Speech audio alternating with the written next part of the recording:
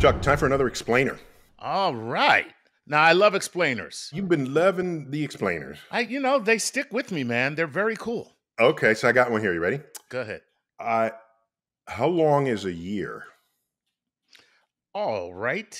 I I didn't realize uh, you thought I was that stupid that you had to explain that to me. I I said I loved explainers. I didn't realize that we were getting down to the remedial levels. you know, yeah. Hello, Chuck. Hi. So yeah. What let's let's tell you what a year is. Yeah. You tell me. So what do you? Yeah. What is a year? Here's a year. Take this crayon and I want you to draw. I want you to draw me a timeline, Chuck. A year a year is a trip around the sun. Okay. So how long does that take? Uh, we say that it takes 365 days, but I got a feeling that you're going to tell me somehow that is not the case. That is totally not the case. That is not the case. It- Oh, it is- wow. It it is not the case. So, as a matter of social civil convenience, okay, uh, the year is mapped out to 365 days. All right. All right. With the 12 months each having, you know, as low as 28, as few as 28 days and up to 31 days. Add all that up, you get 365 days. And then every four years, we stick another day in there on that Well, well, well, that's what I'm getting at. So that's 365 days, and we celebrate New Year's Day. right. Earth has not yet completed its orbit around the sun. Wait a minute. So you're saying to me that when we go January 1st, yay! All right. Kiss When you go January 1st to January 1st, Right. each time we do it, Right. Earth is six hours behind the completion of one trip around the sun. Oh, crap. I did not know that. Well, That's what of, I'm telling you. You think first of all, that. that is significant in terms of amount of time. Yes, it is. Okay, so so rather than celebrate the new year in these six-hour increments through, no, we just cleanly divide the year into whole days because we don't want to mess with a day. You wake up in the morning, you go to sleep, the sun rises, it sets, it's day, it's night. We want to keep that intact. So we ignore the six hours. Okay. All right. So now, how long you going to ignore the six hours? Well, I'm going to say not very long. Okay, so if you if, if you ignore it for four years, then how many hours have you ignored? 24, six times four. Bada bing. So you then throw a day back into the calendar.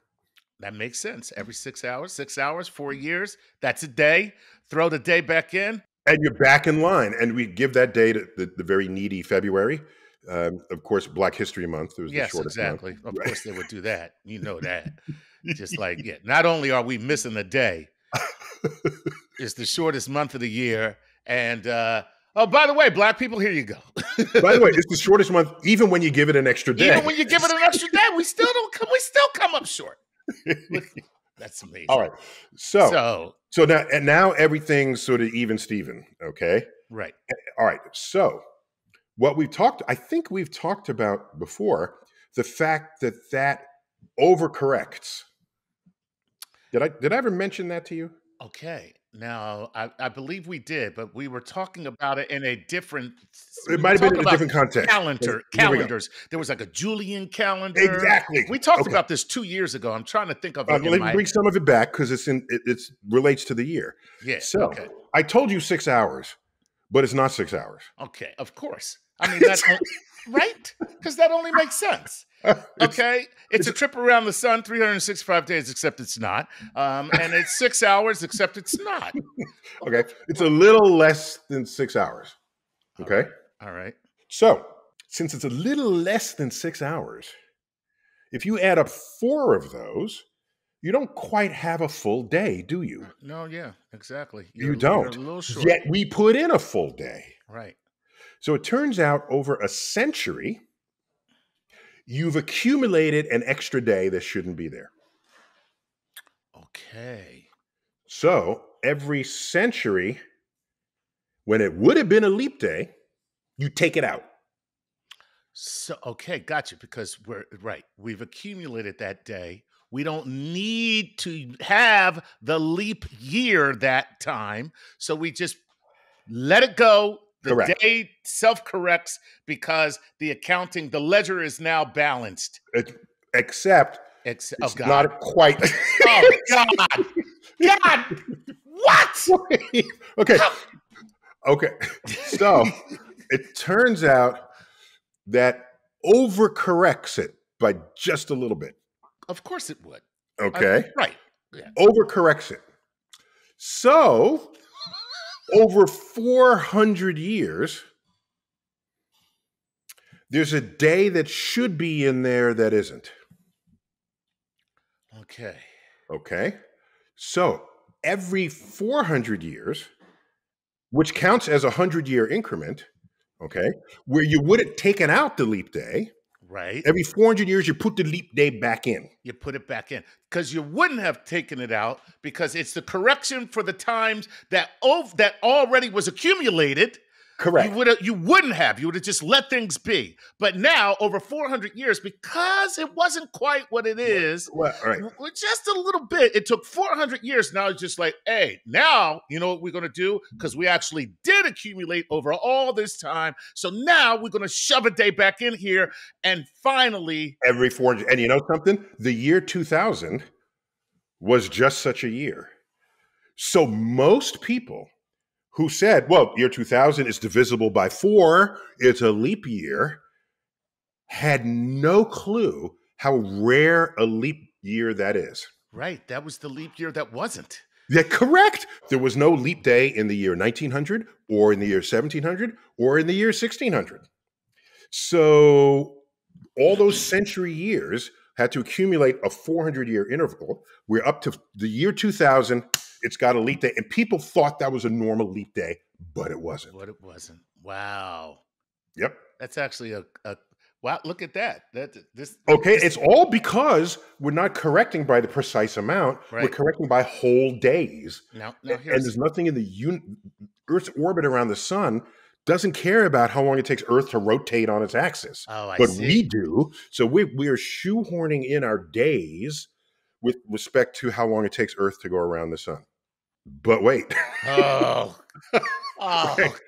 we okay. So that year is the time it takes the sun's and Earth's relationship to repeat in such a way that the seasons stay attached to the months of the year we've given them to.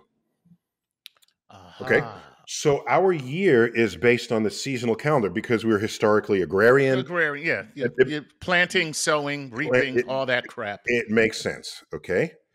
It turns out that the seasonal calendar is slightly different from the time it takes Earth to return to the same spot in its orbit. Uh-huh. We simply don't use that calendar. And that's called a sidereal year, where we match up with the stars that surround the sun. But our seasons don't match up with the stars. And the stars migrate through the year. Spring will always be in March, but the sky you see in the springtime in March right. will shift against the calendar because that's not the year that we're based on. Right. Exactly. I see- Okay. So what, whatever year you're based on that repeats every year, other accountings will then shift relative to it.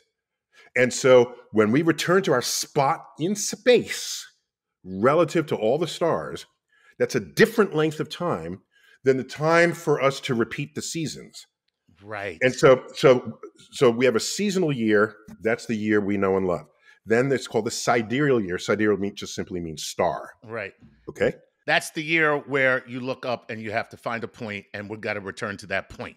To that point. And if we did that, then the seasons would drift. We the stars would stay where they are. Right. Right.